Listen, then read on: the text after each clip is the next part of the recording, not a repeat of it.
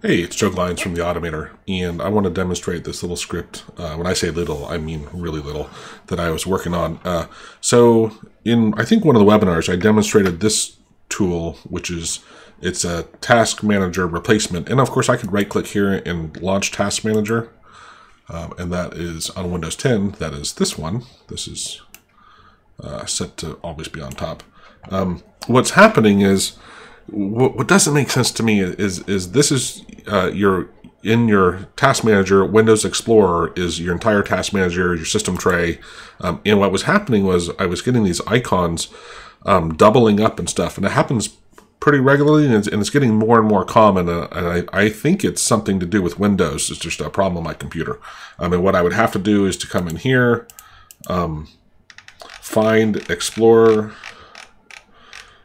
Look all those things with Google. Um, oh, look, that's interesting. I don't see. Wow. Interesting. So, how in the world Explorer should be running? I'm pretty sure it's running. It has to be. Yeah, it is. Let me. Um. So, uh, let's close this one. But in the task manager that I have from uh, AutoHotkey, we can see Explorer here. Now, if I right click on this and restart it, restart process, you'll notice everything over here blinks. Um, my system tray disappears, comes back, loads up, um, and unfortunately I didn't have an easy way to, I don't know how to trigger that the issue is there, but um, you would have seen it correct itself. Uh, also notice that my start menu disappears, of course, because I'm using, and that's why I had my main script here up, this button clock replaces my start menu with it. And so I'd have to restart AutoHotkey after that. And so I said, you know, let me take a couple minutes here to um, not have to use this tool, even though I, I like it um, for Task Manager, and still I'm to leave it as a hotkey. Let me exit out of it. Uh, so this Restart Explorer, I looked at this process command, and in process, it says here you can uh, performs one of the following operations on a process. Checks if it exists, changes its priority. I've played with that before. It didn't really seem to do a lot. Closes it. Hey, that sounds good, right? So I, I did process. Subcommand is close. Here's close. We can jump down there.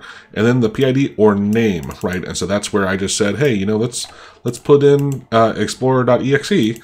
Now, uh, if I just run this, I'm going to save it, and if I run it, notice that everything blinks and restarts for me, right? So that's great.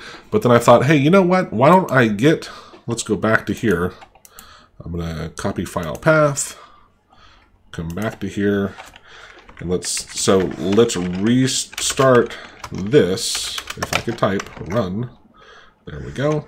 Um, save. Now when I relaunch this, it should everything should blink, and then my start menu gets replaced also. That's because I'm restarting. Actually, you'll even see all of these. These are auto hotkeys. Well, this this one, that's interesting. That happened again. For some reason, it's doubling up. Um, let me let me try it again here, because there is a single instance force in this script. Boy, it's it's that's interesting. Somehow it is Let's make, you know what, let me make sure. Um, where's my single instance force? There it is. Yeah, so I don't understand how... Oh. Is it just, uh, sometimes your system tray uh, doesn't uh, refresh the icons properly. So let me run this again. Here we'll see it more than one time, but is it truly running more? It sure looks like it. Interesting. Yeah, I don't understand. Let's put a little sleep here. This shouldn't really matter. X out of one of them. Relaunch. Okay, now that time it didn't. Um, I wonder... Okay, that sleep seemed to have, have helped it from maybe while Explorer was restarting, it uh, it couldn't detect it was there and it was launching it. I don't know. That's really interesting. But um, so what I'll do is I will add these into my main script behind a hotkey, and then I can basically, when I see the little issue, I can hit a button and it's going to do it for me. So uh, that's it. I hope that helps. Uh, of course, this is with Explorer, but you can use this with anything, right? You could even, I think that command said uh, wait wait for existence. Priority, wait, wait for the justified process to exist. So yeah, you could actually use this to be watching for a given instance of something and then take an action if you once it's there. So uh, uh, pretty cool stuff. Cheers.